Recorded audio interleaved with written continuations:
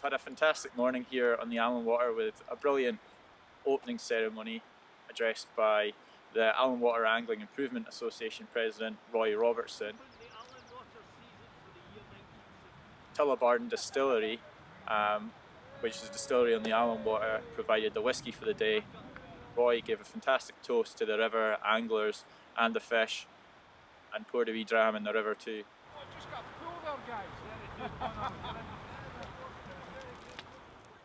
I'm Lawrence Belleni, the project officer for the Allan Water Improvement Project. Um, the Allan Water Improvement Project is funded by the Scottish Government and it focuses on integrated catchment management which involves basically working with landowners and land managers to do habitat improvement works that benefit both the terrestrial and aquatic environments. We have a number of projects um, throughout the Allan Water catchment um, in development phase.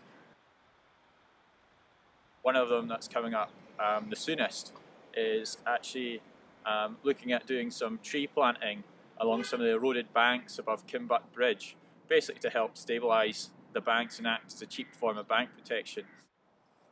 Allan Water had a fantastic season last year with 350 fish caught, so it's well worth getting um, a season ticket here and making the most of it. It's a fantastic river. Um, the anglers are great and welcoming. If you meet any of them on the on the riverbank, they'll help you along. So yeah, consider getting a ticket on the Allan and uh, having a great time with the rest of the lads.